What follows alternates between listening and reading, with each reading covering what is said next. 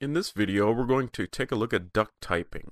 Now, this is a little bit more of a difficult concept to understand, but once you get it, it makes such sense, and it's probably a little bit more disturbing for programmers with experience in other programming languages. One of the unique things about Ruby is that it's very loosely typed, if you will. And what we mean by that is when I use variables. As you can see here, I've got a couple that are actually parameters starting up here, but you've seen it in other videos. I haven't declared what type they are. I haven't said whether they're a string or an integer or some other object or whatever. I just start using them. And Ruby kind of infers how you use it as to what it is.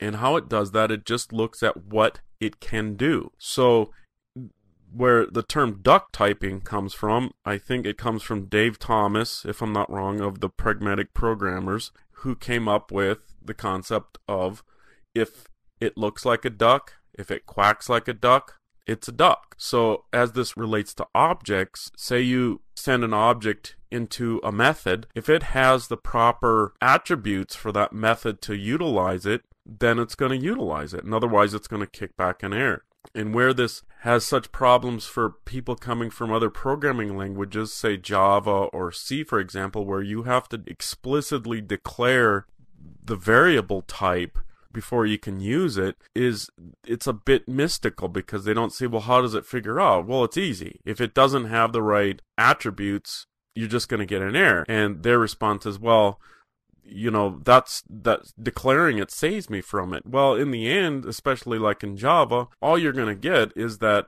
you've modified your programming habits. In other words that declaration stuff really ultimately is for the programmer. Yeah it helps with some compiler optimizations and stuff but it really doesn't help the, the program beyond that. It's really to keep the programmer in check. And ruby kind of takes the philosophy that it assumes that you're going to be doing a good job as a programmer and understand what you want to do. So if you're going to send in a string to a method and you're expecting that object to have string like behaviors, then that's what you'll do as a programmer. And if you make the mistake of sending it something else, then you're going to get an error and it was probably not what you intended it to do.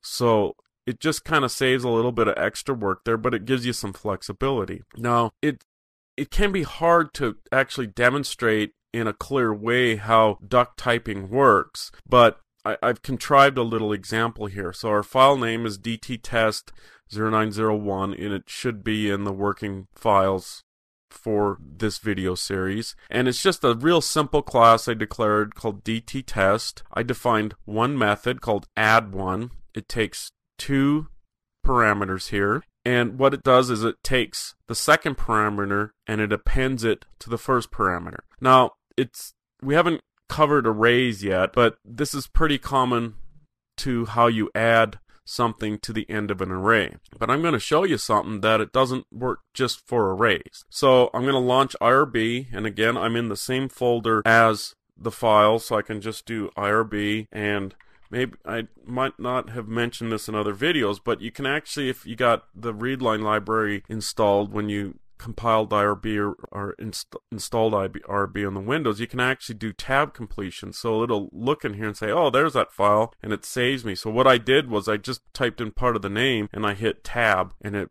went looked at the file directory and found that file. So I loaded up. Let's create or instantiate a object here. Now I'm just going to do, first off, I'm going to take a look and look at the methods here real quick. Now that's kind of messy. I want to show you a little trick. If you do a sort, and then let's do a sort and then do a 2, I think it's ml. Yeah, I don't want to confuse you too much, but you can do it this way, no that way works. So that gives me a a sorted list.